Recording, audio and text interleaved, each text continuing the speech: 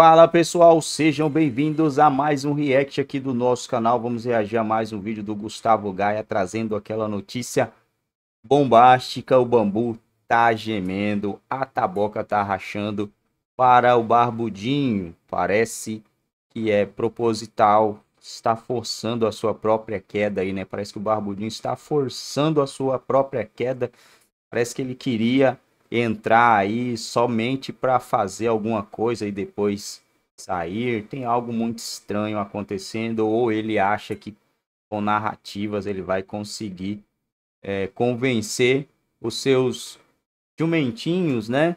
E fizeram.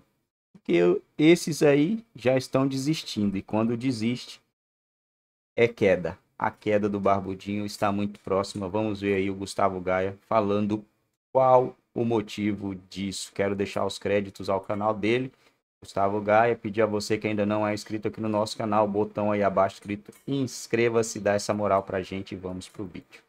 O pior obstáculo que o Lula vai ter que enfrentar está começando a ganhar grandes proporções agora. Algo que a Globo não consegue, com seu mecanismo de lavagem cerebral, convencer as pessoas que não existe. Nem a Miriam Leitão, nem a Daniela Lima serão capazes de passar pano para isso. Eu vou te explicar, vamos lá. Para a parcela brasileira mais instruída, aquela que foge do PT e da esquerda como o diabo foge da cruz ou como o pai da Dilma foge da cruz, sabem que o que ele já fez já é mais do que o bastante para jogar esse cara no lixo da história apoiar Hamas, ir contra Israel, apoiar o invasor da Ucrânia, né, todas as merdas que ele tem feito, afugentar o investimento, aumento da criminalidade, aumento do desemprego, tudo isso para pessoas esclarecidas já é mais do que o bastante.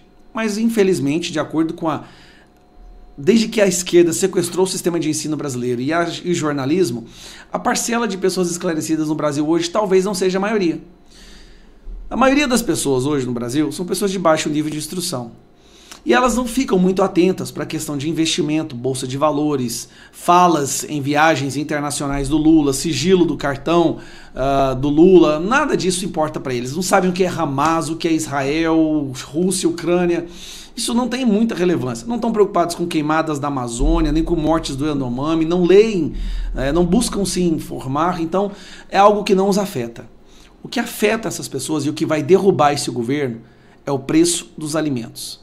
E o preço dos alimentos está subindo astronomicamente. E agora, com o novo imposto que esse governo aprovou, que é o imposto mais caro do mundo, vai piorar ainda mais. Então vamos lá. Olha a percepção das pessoas. Preço dos alimentos aumentou, dizem 79% dos brasileiros ao IPEC. Ou seja, 80% dos brasileiros já reconhece que está mais caro para comer. E comer é algo que todos fazem. Nem todos são antenados em política internacional, nem todos estão antenados uh, no investimento, na bolsa de valores, não, mas todos comem. 64% também disseram acreditar que ficará mais caro custear a alimentação nos próximos meses. Então a percepção do povo é péssima, é pessimista. Tanto é, a situação está tão triste para o Lula isso é ótimo, na verdade. Infelizmente, a gente vai ter que passar por esse momento de tristeza. Que durante um evento dele nessa semana, olha o que uma mulher falou no evento do Lula. A mulher mostra ao Lula a realidade do nosso país. Veja a reação dele. É pão, farinha, uma caixa de leite. É o básico do básico. Antes, gente, a gente ia no mercado feliz da vida, ia fazer que a gente gostava de ir. Eu tenho uma lembrança muito boa, que eu ia no mercado com a minha mãe, enchia o carrinho, e agora hoje a gente praticamente fecha os olhos para passar nos corredores. É uma tristeza sem fim, porque a gente vai uma semana, tá um valor, na outra semana já tá o dobro A gente vai uma semana, tá um valor, na outra semana já tá o dobro. A situação do preço dos alimentos é algo tão grave e que derruba qualquer governo, gente, porque todos comem. E a parcela mais pobre do Brasil, a de baixa instrução, aquela que ainda é enganada pelo sistema de desinformação da extrema imprensa e das instituições de ensino, não, você não convence uma pessoa que está passando fome que a vida dela melhorou. E aí os memes já começaram. Esse aqui, para mim, é o que mais. Eu adorei. Dá uma olhada nesse. Esses memes, para mim, são os melhores. Vamos lá. Promoção com amor é só no supermercados Faz o L. A batata inglesa que tava 4,99 no governo do ódio está só 12,99 no governo do amor. Supermercados Faz o L. Tomate de 3,99 só 14,99. E é mesmo. Arroz o quilo de 17,99 apenas 34,99. E já aumentou. O arroz já tá mais caro que isso, tá passando de 40 em vários lugares do Brasil. Conserva o vidro de 3,99 por apenas 12,99. O amor virou pepino. E não para por aí. Mercado Fazueli aumentou o preço para baixar as vendas. E tem manga de 3,99 por 7,99. Beterraba de 2,99 por 4,99. Supermercados Faz o L. Batata Mona Lisa de 3,99 só 8,99. Feijão preto o quilo de 4,98 apenas 12,99. Tudo isso e muito mais. o supermercado Faz o L informa. A picanha ainda não chegou, mas tem abóbora. Supermercados Faz o L. Então, quer comprar pouco e gastar bastante? Vem pro supermercado Faz o L! Rapaz, o povo é criativo, né? O brasileiro, o negócio pode estar todo dando merda, mas eles têm um senso de humor. O brasileiro, é uma criatividade do brasileiro. Se desse dinheiro internacionalmente, a gente estaria país de primeiro mundo. Mas essa é a situação, tá? É, tirando a brincadeira, se você afeta o bolso daquela pessoa mais pobre e ela vê que ela está comendo menos, o carrinho enche menos, ela não consegue ter comida para o mês inteiro para ela e para os filhos, você pode ter certeza, essa pessoa ela não está preocupada em direita, esquerda, tá? ela está preocupada só em comer. E isso o Lula está destruindo. Então nós vamos ver em breve aí pessoas revoltadas indo para as ruas. E não vai nem ser a direita às vezes não, é o próprio povo que vai ficar de saco cheio, o povo que fez o L vai ficar de saco cheio e vai para as ruas pedir para derrubar esse governo e aí o impeachment vai ficar muito mais fácil. Lá dessa imprensa tradicional que tem uma parcela de culpa enorme no que a gente está enfrentando hoje no Brasil, Augusto. Não tem a menor dúvida. Ah, bom, o Braddock Show está condenado ao sucesso condenado ao sucesso. A gente uh, está atendendo a uma demanda que mostra a cegueira de empresários brasileiros. Digamos que o cara queira só ganhar dinheiro. Tem um público imenso à espera da verdade, em busca da verdade. Porque a imprensa, os jornais, telejornais, os programas de jornalismo no rádio, chamemos de imprensa, tudo isso aí. Eles não só ficam a favor da censura, não só ficam a favor da censura, como eles ignoram o direito à liberdade, a direito à informação correta. Eles não lutam pela liberdade de expressão, interessa a eles manter calados os outros e não, não, não se preocupam com o brasileiro que quer ler a verdade. Então, eles, não, eles escondem a informação ou é, publicam coisas deformadas aí pela ótica esquerdista. E o que acontece? Deixa um monte, uma multidão de brasileiros, aí, incontáveis brasileiros, se sentem órfãos do que foi a Veja, a própria Globo, em determinados momentos, ah, o Estadão, a Folha, menos, mas eram jornais que tinham algum respeito pela verdade. Agora, você tem essa tua procurando. O Brasil é um país estranho, né? É, é o único país que eu conheço onde dos outros partidos procuram eleitores. No Brasil, eleitores procuram um partido que os represente. No Brasil, você tem as pessoas, ofer, uh, empresas oferecendo, veículos oferecendo programas que falseiam a verdade, falsificam. E você tem um mundo de gente esperando o que faz né, esperando ouvir o Braddock Show, o Oeste Sem Filtro e pouquíssimos programas, eu poderia citar aqui, veículos também. Eles não entendem, os empresários deveriam saber disso, até para ganhar dinheiro. Agora, os jornalistas controlarem as redações, são jornalistas militantes, condenam é, essa, é, esse aparelhamento das redações, é uma condenação à morte.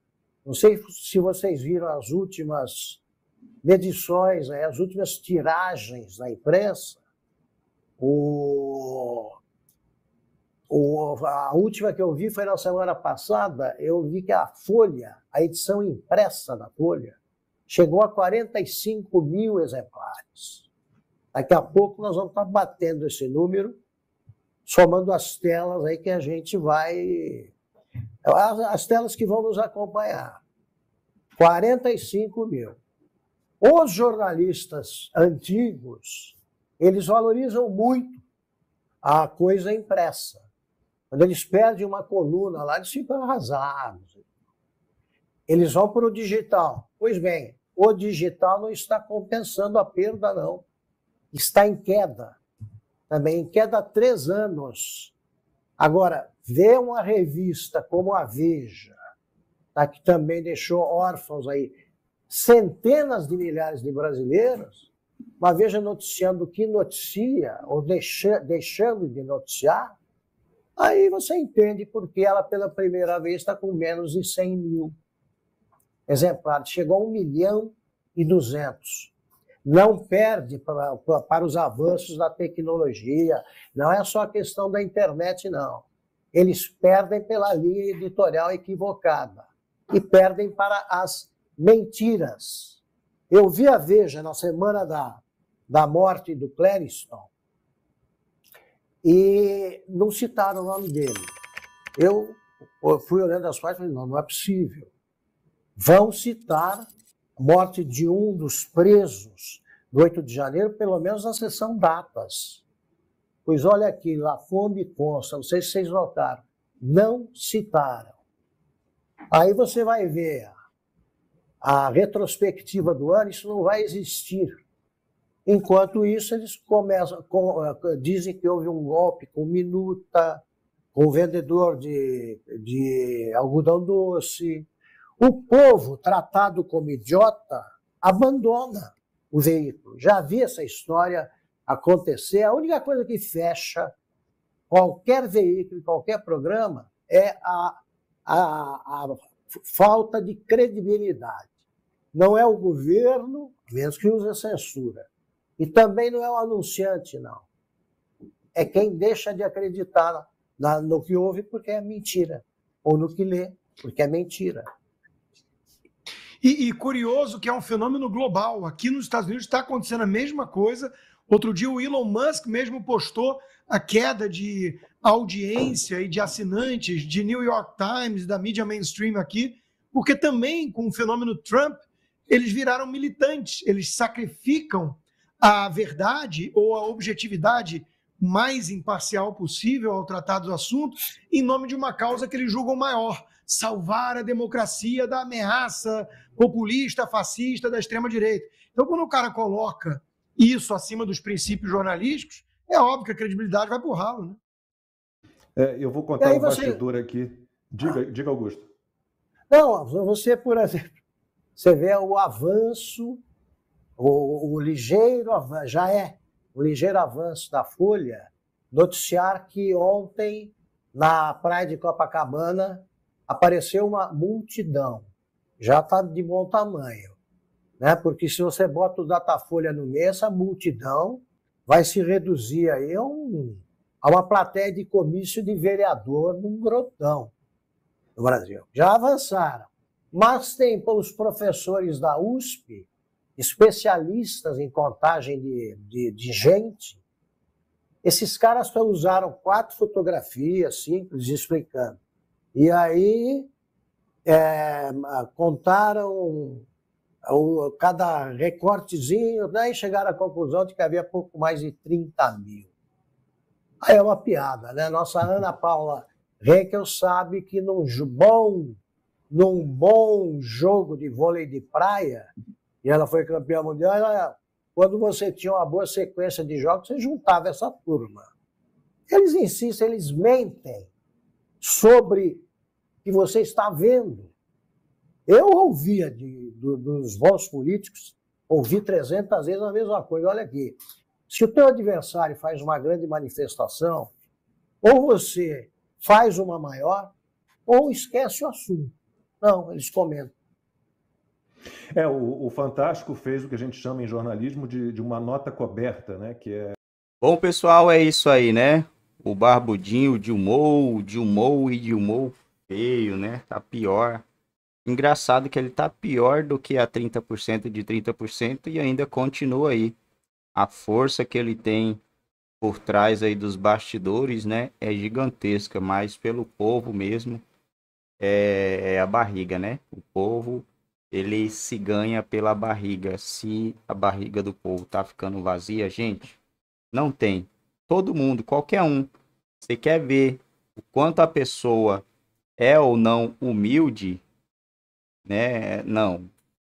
O quanto a fome pode tornar qualquer um humilde, né? Qualquer pessoa humilde.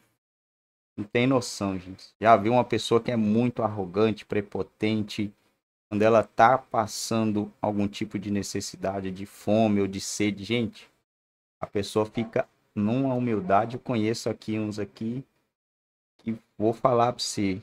Nossa, aquela humildade, aquela coisa, aquela mela, melancosidade, né? Fala realmente a fome. Eu, né, já senti também isso, mas eu acho, pelo menos eu acredito que eu nunca fui assim arrogante, né, de ter nariz empinado, essas coisas. O que vale mesmo não é o nosso testemunho, né?